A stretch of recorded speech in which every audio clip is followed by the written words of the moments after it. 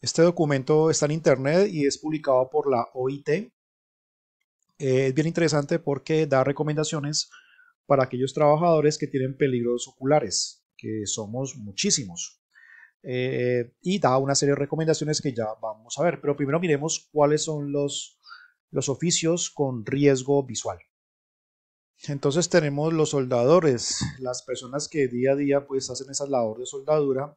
La soldadura emite radiación infrarroja y emite radiación ultravioleta. Por lo tanto, los soldadores son, son personas identificadas como de riesgo por lesiones oculares. Otro grupo de trabajadores son los que por sus labores deben desempeñarse en ambientes exteriores. Eh, personal del agro, eh, que, personas que tienen que cultivar o tienen que fumigar cultivos, personas que tienen que trabajar en postes o en horas públicas, también son personas expuestas a la radiación, en este caso radiación solar, eh, principalmente radiación ultravioleta A y radiación ultravioleta B. Y obviamente eh, también están las personas oficinistas o personas administrativas que todo el día, 8 o 9 horas, están trabajando en un computador. Pues sabemos que los computadores son elementos artificiales. Nuestro cuerpo no está diseñado ni nuestros ojos están diseñados para trabajar 8, 9, 10 horas y es, un factor de riesgo que todos tenemos.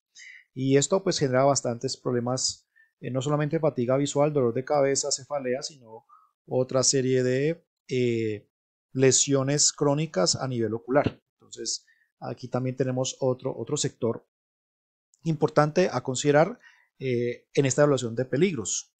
Otro ejemplo son las personas que tienen que trabajar con lámparas UV en laboratorios, clínicas, hospitales, empresas de fabricación de alimentos, donde se utiliza mucho este tipo de radiación para controlar insectos y controlar el riesgo biológico. Entonces, esos son algunos de los, de los oficios con un riesgo ocular por radiaciones no ionizantes. Entonces, este documento en su página 17 eh, genera una serie de jerarquía de controles. Entonces, recomienda como primer medida eliminación del peligro, es decir, eliminar o remover físicamente el peligro. Entonces, por ejemplo, en el caso de la soldadura, pues recomienda reemplazar la soldadura por eh, adhesivos, eh, sustancias químicas que unan piezas, pero que no tengan que ser soldadas. Esto en el caso de plásticos podría ser, pero en el caso de metales es muy difícil porque los adhesivos funcionan en un momento con metales, pero con el paso del tiempo, pues eso no va a, a funcionar. Desafortunadamente la soldadura es algo muy necesario, sobre todo cuando estamos trabajando metales como aluminio, cromo, hierro, etc. El segundo control que recomienda la sustitución, es decir, reemplaza el peligro por otro. Entonces, por ejemplo, para oficinas, y esto ya se está cumpliendo en la mayoría de empresas, reemplace lámparas incandescentes, que son los bombillos amarillos, con eh, lámparas LED. El tercero son los controles de ingeniería y es básicamente aísle los trabajadores del peligro, mantenga el peligro, pero aísle los trabajadores. En este caso, pues recomienda eh, ponerle guardas a las máquinas, porque sabemos que si alguien opera una pulidora, un equipo o una pulidora sobre elementos metálicos, pues pueden salir disparados elementos metálicos contra los ojos del operario y puede causarle graves daños. Entonces, aquí lo que se busca es eh, proteja al trabajador a través de guardas, a través de encerramientos para evitar que partículas peligrosas se proyecten sobre los ojos y también el tema de polvos. Recordemos que los polvos también pueden llegar, las partículas o material particulado puede llegar a los ojos del operario y pues eso le puede causar daños. Entonces aquí realmente estamos protegiéndolos contra peligros mecánicos por liberación de partículas. Entonces eh, póngale a, las, a los equipos guardas.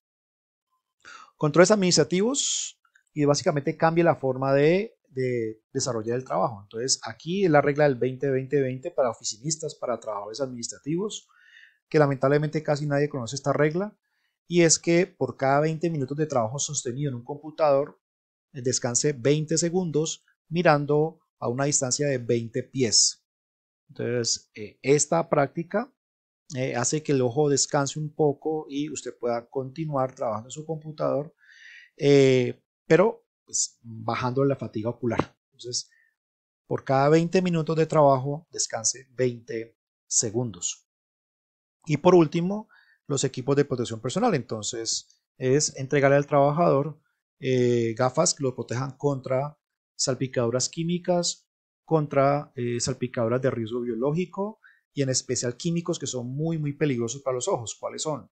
Soda cáustica, ácido sulfúrico, ácido nítrico, ácido fluorhídrico, que es muy peligroso, el peróxido de hidrógeno, que es muy peligroso, la soda, eh, el hipoclorito de sodio, hipoclorito de calcio, la misma cal, eh, e incluso hay productos que tenemos en los hogares. El alcohol tiene menos riesgo, pero igual es bastante peligroso. Entonces este documento es bien, bien interesante porque tiene una serie de recomendaciones y no olvidemos pues las optometrías y las visiometrías.